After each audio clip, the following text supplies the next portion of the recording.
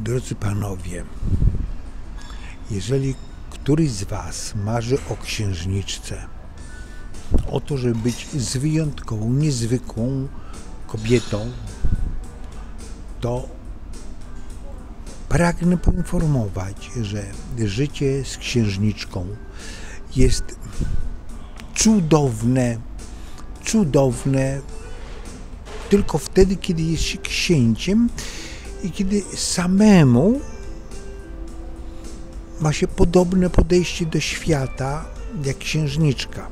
Bo jeżeli człowiek nie jest księciem, to może się okazać, że jego prozaiczny sposób myślenia o świecie nie jest adekwatny ze sposobem, w jaki myśli księżniczka. Taki może maleńki przykład.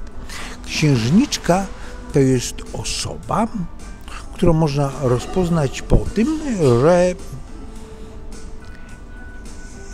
jeżeli pod materacem leży ziarnko grochu, to ona się nie potrafi wystarczająco dobrze wyspać. Ta bajka bardzo dobrze ilustruje, że księżniczka jest wyjątkową, delikatną osobą i niedelikatne podejście do księżniczki może się okazać niewystarczające do zbudowania związku. Czyli na przykład, jeżeli z księżniczką jedziesz do jakiegoś hotelu i okaże się, że w tym hotelu poduszki w łóżku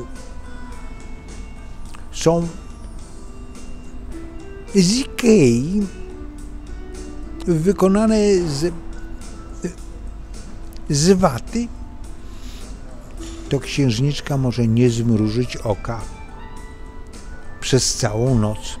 Księżniczka potrzebuje poduszki wykonane z puchu. Podobnie jak i materac. Materac ma być miękki, a nie przypominać standard produkowany w Ikei. To tak przy okazji, żebyście panowie wiedzieli, że jeżeli marzysz o tym, by dbać o księżniczkę, to owszem, będziesz mógł się wykazać w różnych sytuacjach, chociażby w takich, kiedy zrozumiesz, że księżniczka jest osobą delikatną i nie zmruży oka, jeżeli poduszka nie jest wystarczająco miękka, nie jest z puchu, a pod materacem leży ziarnko grochu. Jasne?